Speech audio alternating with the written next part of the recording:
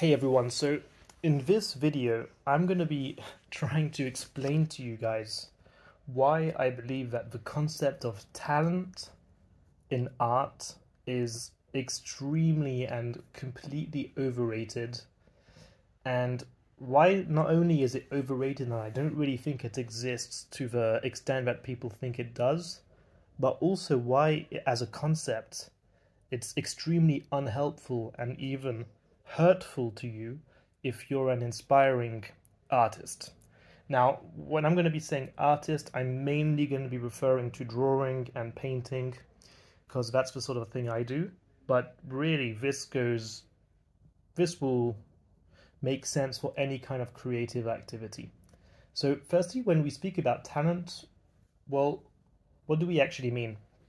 So, to me, the most uh, vivid examples or the most speaking categories where talent seems to be the most important thing is competitive sport and art. So, in art, there's this common sort of understanding that if someone draws a beautiful image, or that all the great painters of history, that they're all extremely talented people, that they were born with this huge talent, and that's why everybody loves them. That's why we would pay millions and millions and millions for their artwork, um, etc. And in extreme sports, it's quite similar. It's an extremely competitive environment, and basically the what people think is either you're extremely talented as a young kid, or you're never going to make it.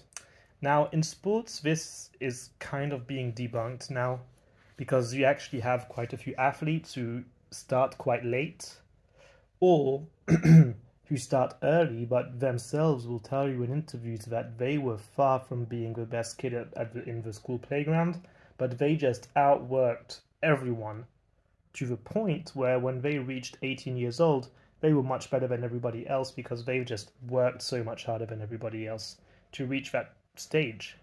Now so this is getting accepted for sports, but I actually think it's exactly the same thing when it comes to art.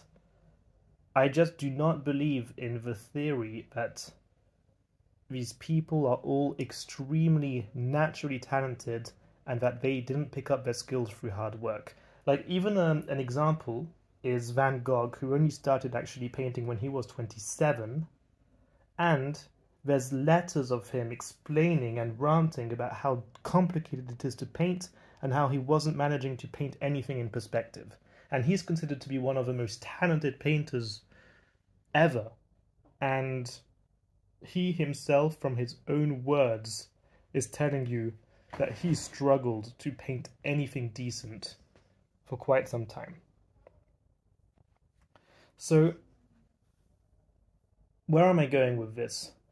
Basically, let me tell you why some people, why the concept of talent exists.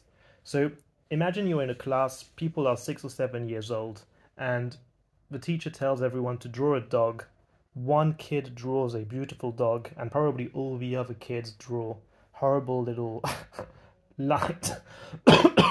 Sorry, lines that don't even look like a dog. Okay? Um, now the teacher's are going to be saying this kid is extremely talented and all the others are normal kids. Well, the reality of the situation is most likely that this kid has been practicing drawing for a few years before being told to do this exercise. Maybe his parents taught him how to draw. Maybe he got curious and started drawing and did, did so repeatedly so that when the teacher asked him to draw a dog, he actually knew how to do it because he had done it before no one draws something perfect when it's the first time they're asked to do it. And so the effect of this is since when we're kids, well, most people don't draw until they reach a certain age, well, this kid is branded as being a natural talent, and then the entire school knows that he's a talent, so anyone who wants advice of how to draw will go to him, he'll get referred to the best schools, and that's how it works the, the, the boy or the girl is now labeled as a talent, they'll start believing the hype themselves that they have natural talent, and it goes on. In reality, of course, they have the skill, but the point is, it wasn't just a God given talent that existed within them. It's the accumulation of their life experiences and work which has given them this ability to draw. Okay, so this is very important. Now, the reason why I want people to understand this is because if you believe in the concept of talent, and just to make things very clear, I believe in the concept of IQ, for example. So I, I, I obviously believe that some people will become, so with the same amount of work, some people will do things better than other people. This is just a fact about life. But that doesn't discard any of the points I'm about to make. Because if you believe in the concept of talent, what this actually means, imagine you're, uh, you're 20 years old, you've never practiced drawing ever in your life, okay? Um, there's other people who have drawn amazing things around you, uh, who everybody says they're crazy talented, they've always been talented, you don't know how to do anything, and you say, hey, I'd quite like to start drawing, but I don't have the talent. All I've ever drawn is stick men that look horrible when I was asked to draw at school. Um, so I can't do any of that stuff, right? You're limiting yourself. You're limiting yourself because you're believing this lie about talent, and consequently, you're you're proving them right because you're not actually doing things. Now, I don't want to tell everyone that I am the greatest artist in the world or far from it, but to give you just a little bit of history, I started drawing when I was 25, and up till then, I was literally the guy who had only drawn stickmen. Okay, and so I was the guy who my parents didn't even want to be in my team in Pictionary because I drew so badly. And now, well, I think everyone who would look at my Instagram Instagram page, for example, would say, wow, like this guy actually knows how to draw. People have told me, wow, you're so talented. And I just think to myself, no, I've taken, I've believed that I could do it, and I've taken the time, I'm patient, and I worked in order to create the things that come to my mind. You see, this is the this is the key. And I genuinely believe that anyone who commit to drawing something nice can make a good drawing in a week if they've never drawn anything before. And this is something I truly believe. And this is something where when I speak to people, most of them tell me, oh no, I don't know how to draw. I don't know how to draw. There's no way. Um, there's no chance. I don't have that talent. I don't have that gift. So I just give up.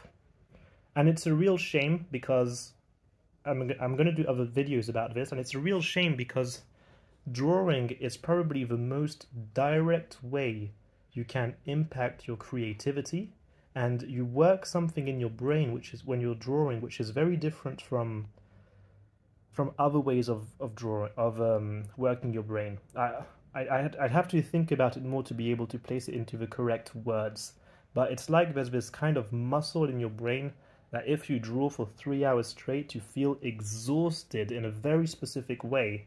And it, it's like training your creativity muscle. so even if it's just drawing to to feel more creative and to train your imagination, I really think it's hugely beneficial just for your life in general. Even if there's no um, even if you're not trying to sell artwork or any sort of pretension in that way. I genuinely believe that drawing can be beneficial for everyone's creativity.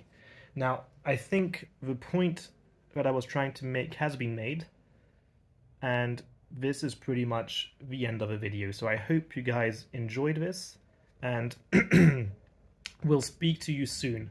But just to re-emphasize, really, the point is that is not that talent in general does not completely exist, is that if you believe in talent and you believe that since you have never practiced, you do not draw good things, you will believe that you are not talented and that you will never be able to draw something good. It's just, it's a fallacy, it's a limiting belief, and I want you to overcome this limiting belief, believe in yourself, give yourself a challenge, think of something you'd like to draw, spend a week drawing it and you'll see you'll produce something better than you've, than you've ever done before This is if you're a complete beginner, of course. But even if you're not, even if you're like, even if you've done a few drawings, challenge yourself, do harder things. With time, you'll succeed. All right. I'll stop dragging on now. Thanks, guys. Bye bye.